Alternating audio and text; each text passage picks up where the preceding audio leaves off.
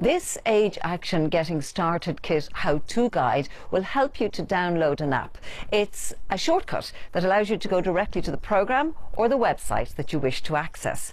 And if an app is not already on your phone, you'll be able to find it on the Google Play Store. On your phone screen, look for the Play Store. Tap on the image to open Google Play Store. The Google Play Store will open with a list of topics including apps, movies and TV, books, games, music and magazines. You may need to sign into your Google account to access this if you have one. A Google account and a Gmail account are the same thing. You can find out how to create a Gmail account from our How to Create an Email Guide. Press into the search bar at the top of the screen.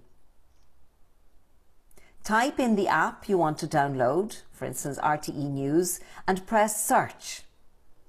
Your phone may suggest on the top line RTE News.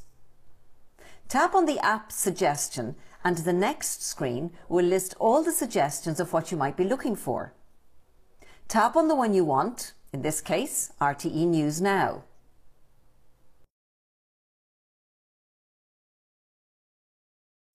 Press Install. There are often a series of questions that come up when you download any app. Usually a privacy or terms of agreement page may show up first. Read what interests you and press I agree, allow or deny. Allow the app to download.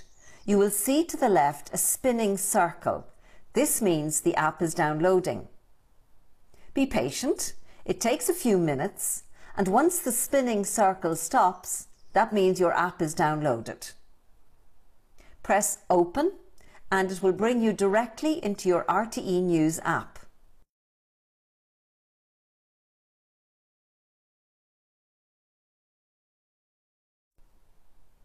When you're finished using your app, to find it again, it will now have appeared on your home screen as a picture.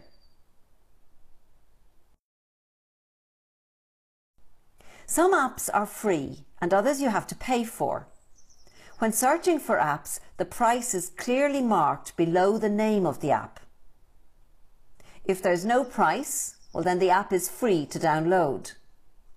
The app might say that there are in-app purchases. This means that some functions of the app would have to be paid for.